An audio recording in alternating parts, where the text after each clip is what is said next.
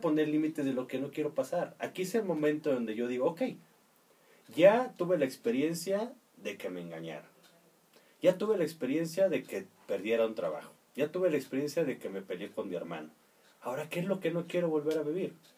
Voy a entender qué es lo que yo aporté y qué es lo que ya no quiero que las demás personas vuelvan a sentir por no decirlo.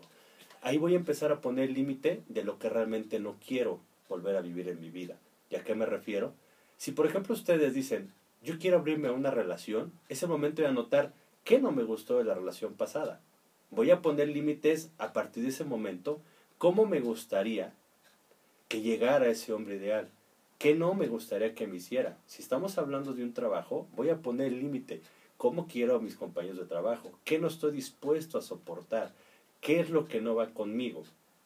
Al poner yo límites en mi vida, estoy poniendo y le estoy diciendo al universo, yo quiero que me mandes puras cosas que nutran mi alma y mi ser. Eso es poner límites. Es donde voy a encontrar las respuestas de los para qué, no de los por qué. Los para qué. Una vez que ya pongo mis límites, voy al paso siguiente que es agradecer a la persona, situación o cosa lo que pasó. Y este es un tema y es un paso relativamente complicado para algunos, porque muchos dicen, ¿cómo le voy a agradecer a esa persona que me lastimó? ¿Cómo se me ocurre decirle a mi jefe que gracias por correrme? ¿Cómo se me ocurre decirle a aquella persona que me robó dinero que le voy a agradecer? Pues sí, hay que agradecer. ¿Por qué? Porque no le estás agradeciendo el acto, le estás agradeciendo que gracias a que pasó eso, tú lograste moverte, tú lograste entender, tú lograste aceptar muchas cosas, lograste salir de tu zona de confort, lograste hacer cosas diferentes. Por ejemplo, gracias a que a lo mejor a las personas que los han engañado, si no los hubieran engañado, yo les pregunto hoy en día, muchos de ustedes no hubieran entendido lo que realmente quieren en su vida en una relación amorosa. Muchos de ustedes no se hubieran abierto a tener una relación de felicidad. O por ejemplo, ¿cuántos de ustedes que se han cambiado de trabajo, si no los hubieran corrido, díganme cuántos de ustedes que me están escuchando no los motivaron a poner un negocio propio? Eso es el agradecimiento que ustedes tienen que dar. Lo que me dejó esa situación, lo que ahora me está haciendo cambiar en mí.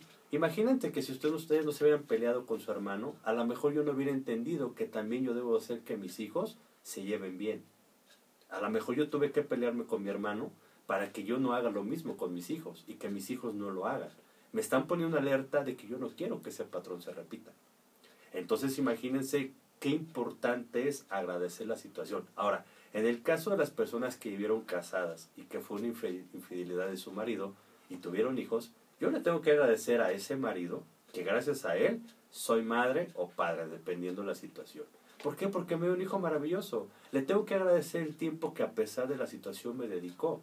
Le tengo que agradecer que gracias a eso yo sentí por primera vez lo que es amar a alguien. Y muchos yo creo van a estar pensando, pero ¿cómo? Si siento dolor. Sí, pero yo tengo que recordar lo que me aportó bueno antes de sufrir ese dolor. Y es lo que voy a agradecer.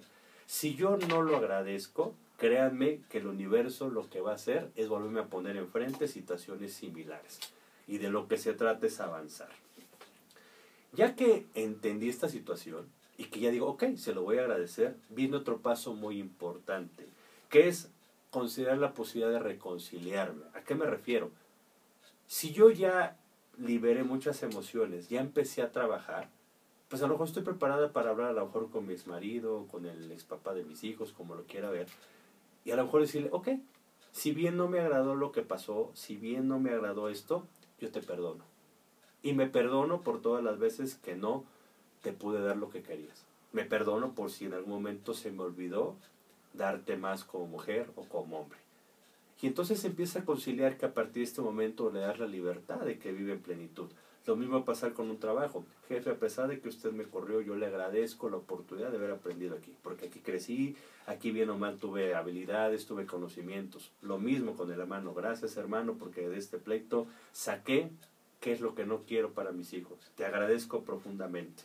Y entonces si yo tengo la oportunidad de arreglarlo con mi hermano, hermano, muchas gracias, a pesar de todo te amo, eres mi hermano, no tengo nada que reprocharte, te perdono, te libero y a partir de este momento te dejo en paz.